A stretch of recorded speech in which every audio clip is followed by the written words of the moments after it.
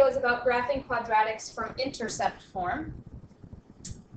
So when you graph a quadratic function, it's still going to make a U shape called a parabola on the graph. This is one form of a quadratic function called the intercept form.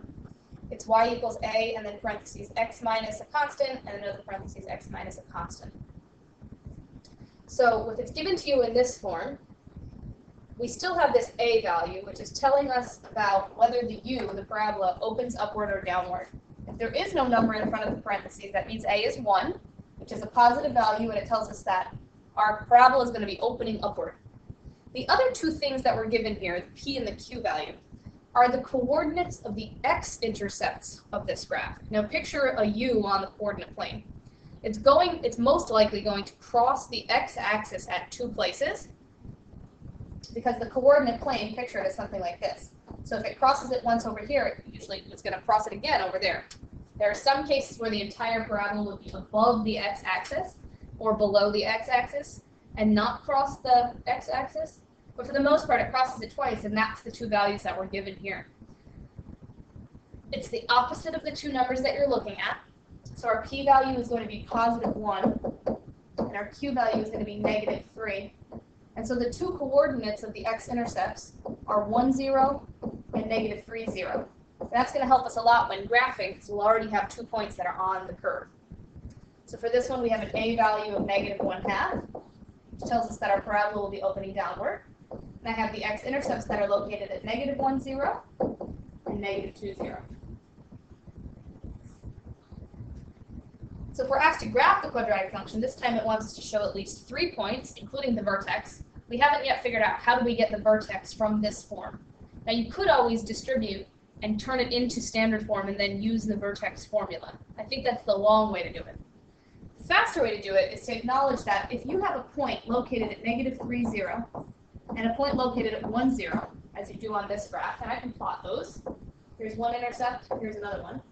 The vertex is going to exist halfway between those two points, somewhere up or down. So if we're looking for an x coordinate that is halfway between those two points, you can't do it mentally. You can always take the average of these two x values. Negative 3 plus 1 is negative 2. Divided by 2 is negative 1. Negative 1 is the x coordinate of the vertex. It's halfway between the two x coordinates of the intercepts. Then we'll take our negative 1, substitute it into the function, and find the y value that corresponds with it. 2 times 2 times negative 2. And then I'm going to find the point that is my vertex, negative 1, negative 8.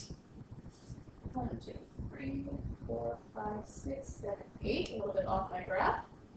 And it only asks for three points here, so I'm ready to connect the dots. Trying to make it a nice smooth curve very long and skinny parabola. And remember to label important points. We have a vertex here. We have an x-intercept here, located at 1, 0. Another x-intercept. And we even cross through a y-intercept here. And I haven't calculated it yet, but it's very easy to calculate. So I'm going to calculate the y-intercept by plugging in 0 for x. Change colors for this calculation. By plugging in 0 for x,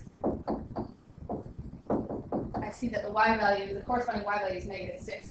So really I should have crossed the y-axis right here. It's pretty close. And label that point as well. And you may also be asked to label your axis of symmetry. So I always like to draw that on here. Goes right through the vertex. And I label it x equals negative 1, coordinate, x coordinate of the vertex. Complete the analysis. We have a concavity opening upward, so this was a concave up. Coordinates of the vertex were negative 1, negative 8. Equation of the axis of symmetry. Coordinate of the y-intercept.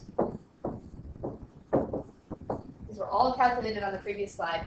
Coordinate of the point symmetrical to the y-intercept.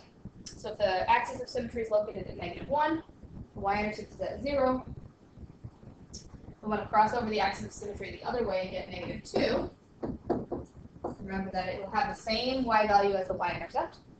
And we're going to write this function standard form by distributing in our parentheses x squared plus 2x minus 3. Distribute the 2. And there it is in standard form. Same function in standard form. And that is all.